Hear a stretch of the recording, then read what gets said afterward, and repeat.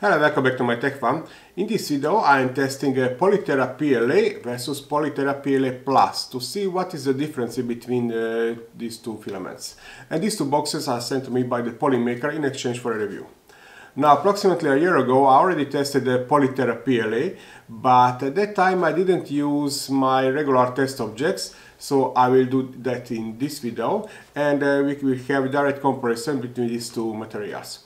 Now, according to the specifications of the website, they both have the eco-friendly formula, but uh, however, PLA Plus has optimized for better layer adhesion and overall strength. Of course, it is too early to do some conclusions yet, but uh, according to this, uh, the PLA is good for some figures with a lot of supports because uh, the supports will be easier to remove but if you need some mechanical parts which will be used only on room temperature in that case uh, I will choose PLA plus but uh, let's see first what's in the box do the testing and then I will do another conclusions at the end of the video. PLA is in earth brown color, the PLA Plus in uh, blue color, and in both cases the print temperature is between 190 and 230 degrees Celsius.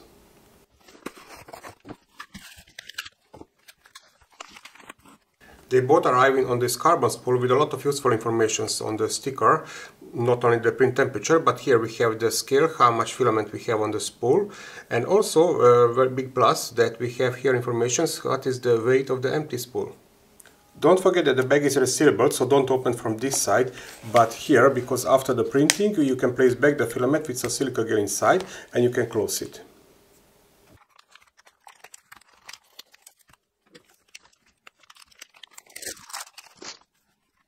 And even this product plans 1.3. The printing I'm starting with the regular PLA.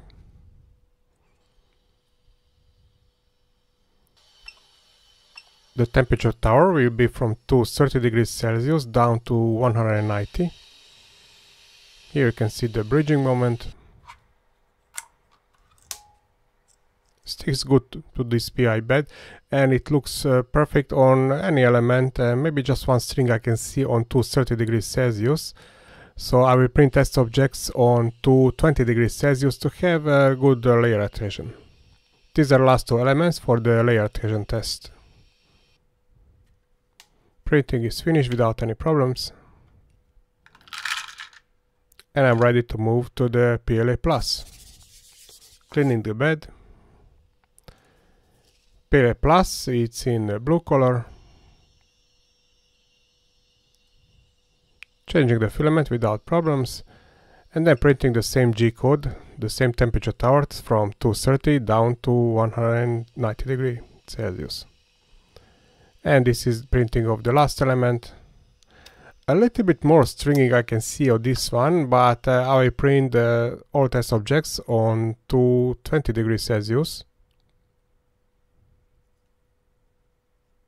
And I will use the same G-code for this.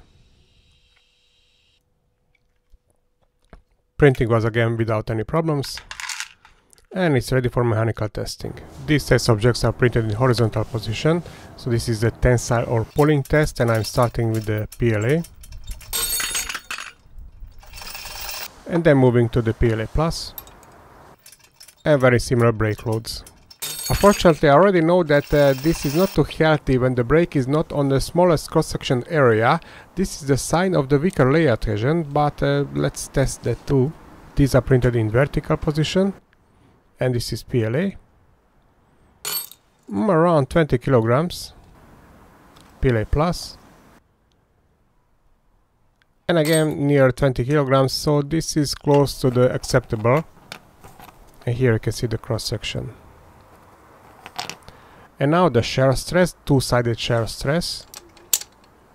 And I'm recording here the break load. Um, not big difference in this case. And they are shared correctly in three pieces on those two cross-section areas. And my torque or twist test, the test object has the diameter of 6 millimeters, and I'm recording the torque at 90 degree angle and the maximal torque. PLA Plus a little bit stronger, but the difference is not too big, but the deformation is very similar in both cases.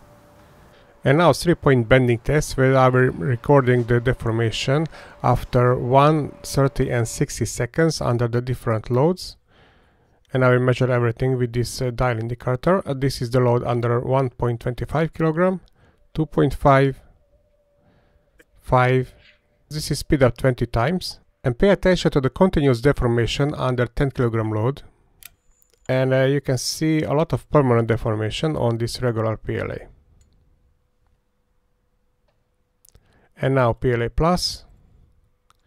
And again, this part will be speeded up 20 times.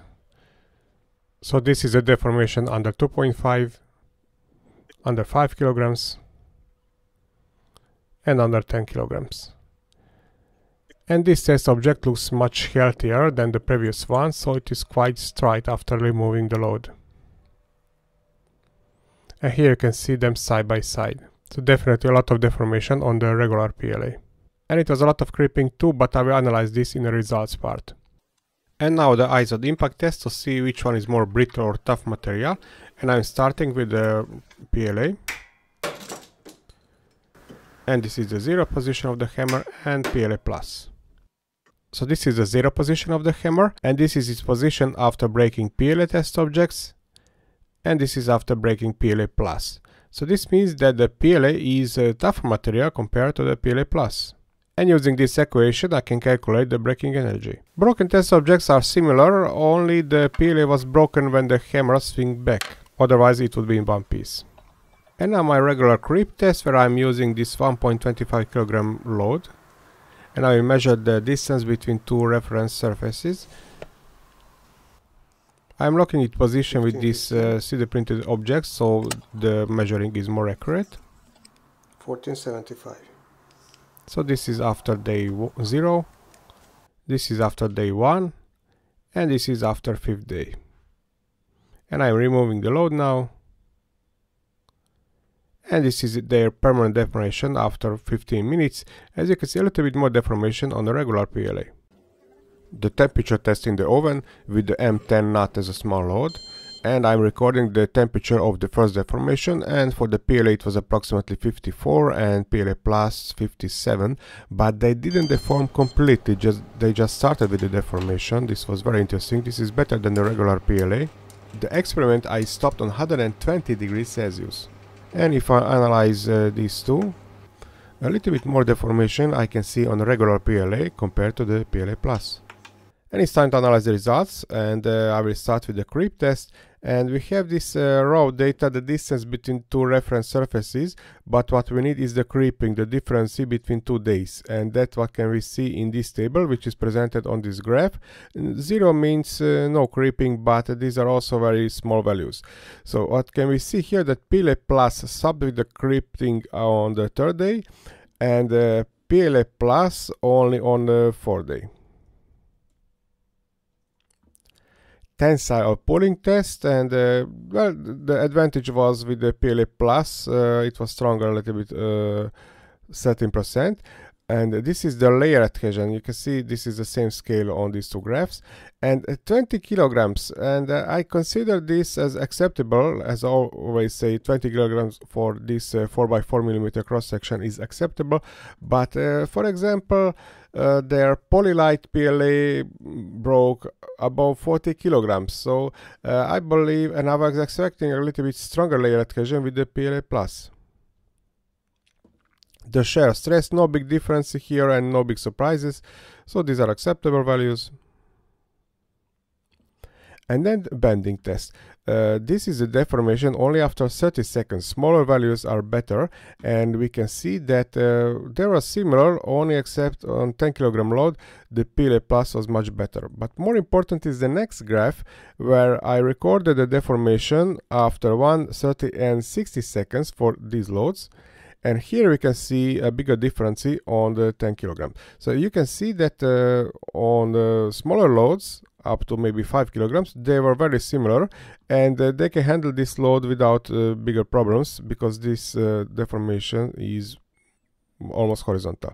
But then look at this. On 10 kilograms the PLA didn't even stop with deformation after one minute, so probably it will continue somewhere, I don't know, maybe um, it would have deformation even after two minutes. And uh, here uh, it was much closer to the horizontal with the PLA+. So definitely for these higher loads, uh, PLA Plus is better. The torque test, uh, well, these are very similar values. More important is, of course, this load at 90 degree angle.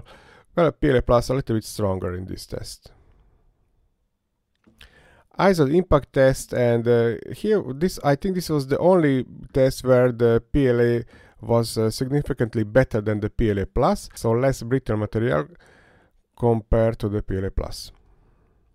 The temperature test, no big surprises here, they started with the deformation at approximately 55 degrees Celsius, which is typical for the PLA filament, but what is not typical that basically they stopped with the deformation after a few seconds, or I would say the deformation slowed down. I didn't completely deform, so they didn't touch the bottom even on 120 degrees Celsius.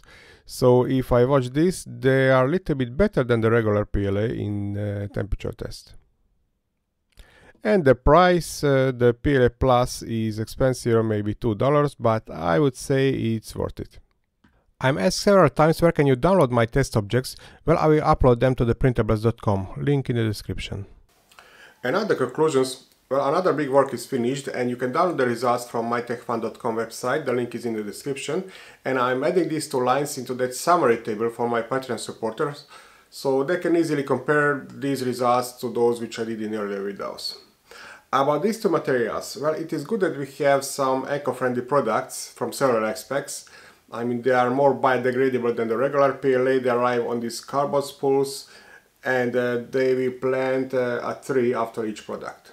Now, sometimes a cardboard spools may be problematic depending on the printer and uh, spool holder you are using. As you can see, in both cases they are damaged a little bit the removing of the supports is very easy in both cases and it is very similar but for this they sacrifice a little bit the layer adhesion which is uh, very similar in both cases. For comparison I checked that summary table the Polylite and Polymax PLAs from Polymaker they broke in this layer adhesion test uh, between 60 and 70 kilograms so three times stronger than these materials. This means you should use them only in those applications where you don't have too big loads along the z-axis. And uh, of course you are using them on room temperature only. And if I should decide between these two, well, definitely the PLA Plus, I think it's worth those two extra dollars, especially in that bending and creeping test, I can see big advantage of this material. If you have some additional experience, you know, feel nice in the comment section. Thank you for watching and happy printing!